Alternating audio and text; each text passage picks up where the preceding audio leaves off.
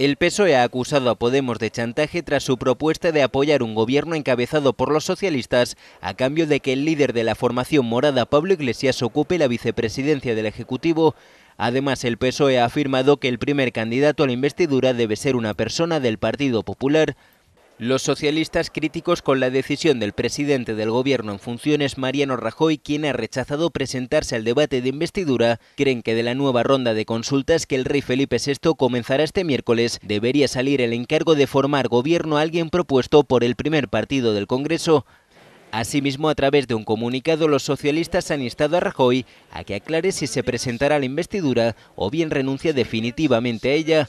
Para los socialistas, la renuncia de Rajoy solo es comprensible desde la complicada situación judicial que afronta el Partido Popular y se trata de una nueva utilización partidista de las instituciones y de las reglas democráticas, como a su juicio antes nunca se había cometido. Además, han recalcado que hasta que el líder del PP no aclare sus pretensiones, el PSOE no va a emprender negociaciones con otras fuerzas políticas para intentar fraguar una alternativa de gobierno estable. Por otra parte, Pedro Sánchez ha llamado por teléfono este sábado al líder de Ciudadanos, Albert Rivera, y se han emplazado a dialogar en los próximos días tras la renuncia de Mariano Rajoy.